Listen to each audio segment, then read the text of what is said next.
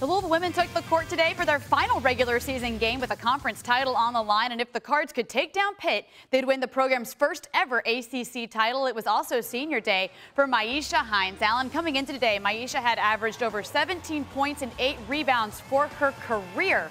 Her 42 career double doubles, second most in Louisville history, will make it 53 double doubles. She hits from the elbow there in the first quarter. Cards up seven, then Asia Durr starts draining threes. Nothing new. 20 points for her. Cards led 38 22 at the break. But this game was all about Hines Allen. Her teammates looked for her.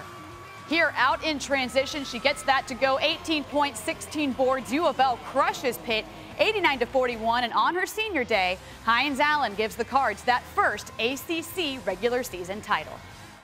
I'm not really shocked because I knew we were capable of winning. It's just like it's here. Like senior game, I'm happy that we were able to play for a championship on my senior game, um, and just experience this.